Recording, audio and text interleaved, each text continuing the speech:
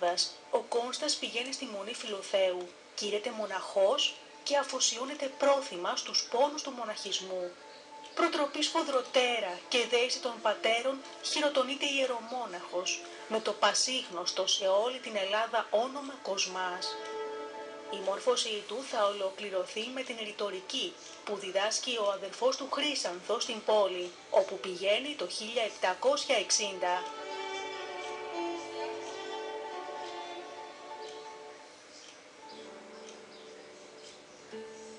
Απόστολος Χριστού Ο ίδιος ο Άγιος Κοσμάς μας πληροφορεί για τη ζωή του στο Άγιον Όρος. Αναχωρών από την πατρίδα μου προ 50 ετών Επεριπάτησα τόπους πολλούς, κάστρα, χώρας και χωρία και περισσότερο με κάθισα εις το Άγιον Όρος 17 χρόνους και έκλεον δια της αμαρτίας μου. Ήταν μια μυσταγωγία προετοιμασίας, η ακολουθία του όρθρου, η προεισαγωγή στην Θεία Λειτουργία που θα ακολουθούσε σε λίγο. Δεν ησυχάζει όμως, θυμάται τους κλαβωμένους αδελφούς του και θέλει να τους βοηθήσει αλλά ως ταπεινόφρον και μέτριος δεν ετόλμησε να το επιχειρήσει από μόνος του. Θέλοντας να καταλάβει την Θεία Βούληση, ανοίγει την Αγία Γραφή και, ο του θαύματος, βρίσκεται μπροστά στο λόγο του Απόστολου Παύλου. Μη δεις το εαυτού ζητήτο, αλλά το του εταίρου έκαστος. Κανείς σας μη ζητά το δικό του συμφέρον, αλλά του αδελφού του. Ο Κοσμάς αισθάνεται πως ο Χριστός, όπου αφιερώθηκε, τον καλεί να γίνει Ιεραπόστολος. Κι έτσι, με το σακούλι και το δεκανίκι και με το ράσο του καλόγερου, πήρε το στρατή σκορπώντας την αγάπη του, την πίστη του και την αλήθεια του στο εξουθενωμένο γένος, περιοδεύοντας χρόνους και χρόνους. Ο λόγος του θερμός και δυναμικός δημιουργούσε κατάνοιξη και μετάνοια στις ψυχές ζωντάνευε το Ευαγγέλιο με το ζήλο του και τα θαύματά του κι έτσι αποδεικνυόταν διάδοχος των Αποστόλων.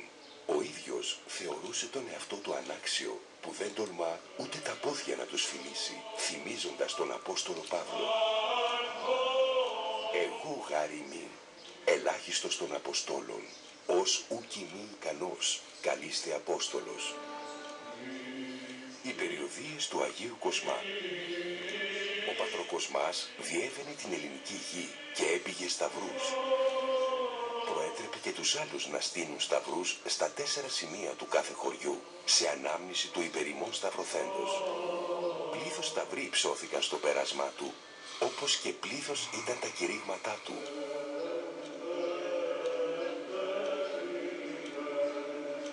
Στην Ήπειρο επιβιώνουν ως σήμερα τοπονύμια με την ονομασία Σταυρός.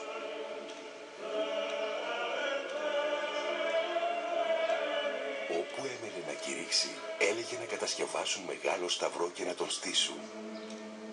Στα πόδια του έβαζε το σκαμνί, ανέβαινε πάνω και μιλούσε.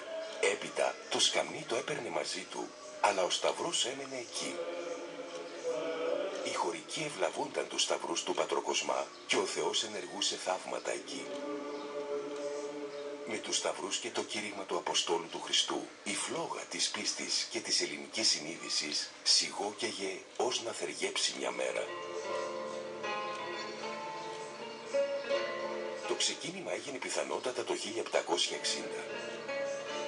Μετά από προετοιμασία με προσευχή και περίσκεψη, εγκατέλειψε το Άγιον Όρος και πήγε στην Κωνσταντινούπολη, όπου πήρε την ευλογία του Πατριάρχη Σεραφείμ Δευτέρου, του εκδελβίνου της Υπήρου, και αρχίζει την Ιεραποστολή του που θα σταματήσει με το θάνατό του το 1779.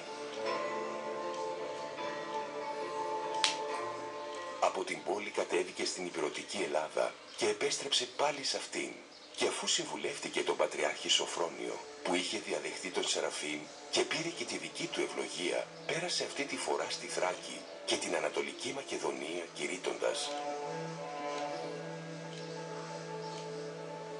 συνεχίζει στα νησιά του Αιγαίου και τα Δωδεκάνησα. Δεν ξεχνά το όρος. Είχαν και εκεί ανάγκη από το Λόγο του Θεού. Κηρύττησε σκήτες και μοναστήρια. Μετά πάλι στην υπηρετική Ελλάδα. Οι περιοδίες του Πατροκοσμά καλύπτουν 30 επαρχίες. Κηρύττει κάτω από σκληρές συνθήκες στη Μακεδονία, Θεσσαλία, Ετωλία, Ακαρνανία, Άρτα, Πρέβεζα. Μετά περνά στη Λευκάδα, Κεφαλινία, Ζάκυνθο, Κέρκυρα. Το βάρος της δράσης του το έριξε στη Βόρεια Ήπειρο, διότι οι εξισλαμισμοί εκεί ήταν πιο πυκνοί από κάθε άλλο μέρος της Ελλάδας. Κηρύττει με ακάματο ζήλο και αδιάκοπο κίνδυνο, όπως λέει ο Παναγιώτης Αραβαντινός. Ενθυμίσεις και σημειώματα σε λειτουργικά βιβλία, επιστολές, δικές του και άλλων, τοπικές παραδόσεις και τοπονύμια, προσκυνητάρια που έκτισε ο ίδιος, τόποι όπου δίδαξε και ίδρυσε σχολεία, έγγραφα και εκθέσεις κατασκόπων των Βενετών, μαρτυρούν για τρεις ή τέσσερις περιοδίες του Αγίου Κοσμά.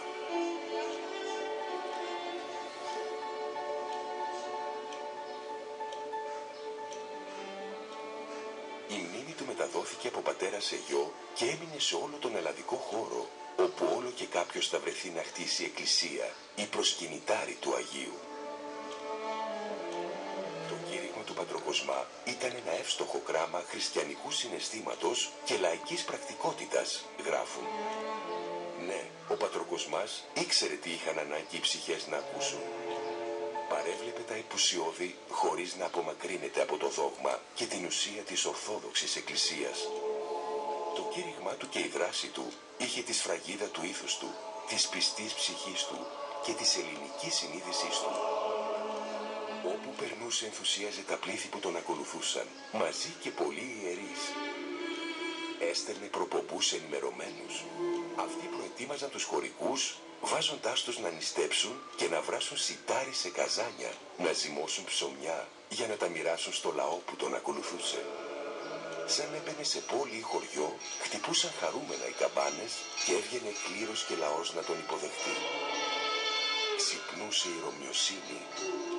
Μοίραζε σταυρούς, κομποσκίνια και βιβλία σε όσους ήξεραν να διαβάζουν και έπεισε τους πλούσιους να αγοράσουν 4.000 κολυμπήθρες για να έχουν τα χωριά να βαφτίζουν τα παιδιά και να τους μνημονεύουν. Λένε πως ο Κοσμάς είχε σχέσεις και με τους κλέφτες στα βουνά.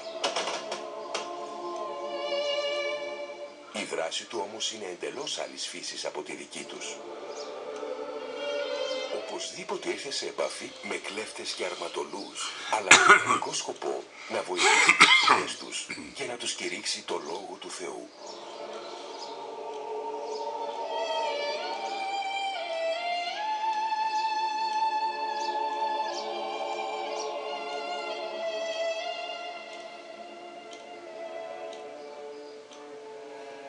Οι περιοδίες του Πατροκοσμά στη Μακεδονία και στα Αιγιοπελαγίτικα νησιά.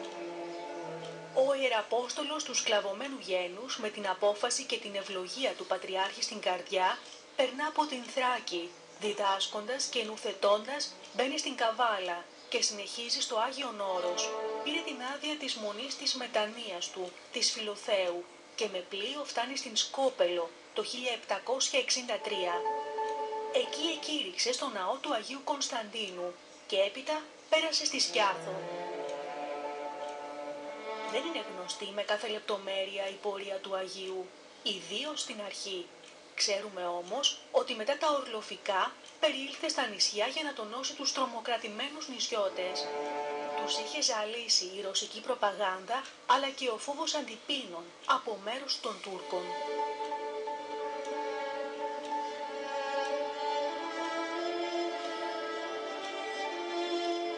Πατροκοσμάς περιοδεύει στα Δωδεκάνησα, τονώνει το ηθικό των κατοίκων, τους λέει να μετανοούν και να πράττουν έργα μετανοίας. Στη συνέχεια περιηγήθηκε στα νησιά Πάρος και Νάξος, όπου σύστησε ομόνια και υποταγή στους Τούρκους. Εκεί συνάντησε για τελευταία φορά τον αδελφό του Χρύσανθο. Έπειτα πέρασε σε Μύκονο, Σέριφο, Μήλο. Ο Ιεραπόστολος βιαζόταν να περάσει στα μέρη που είχαν περισσότερη ανάγκη, στη Μακεδονία και την Ήπειρο. Κηρύττει στην Ελευθερούπολη. Στη Μεσορόπη διδάσκει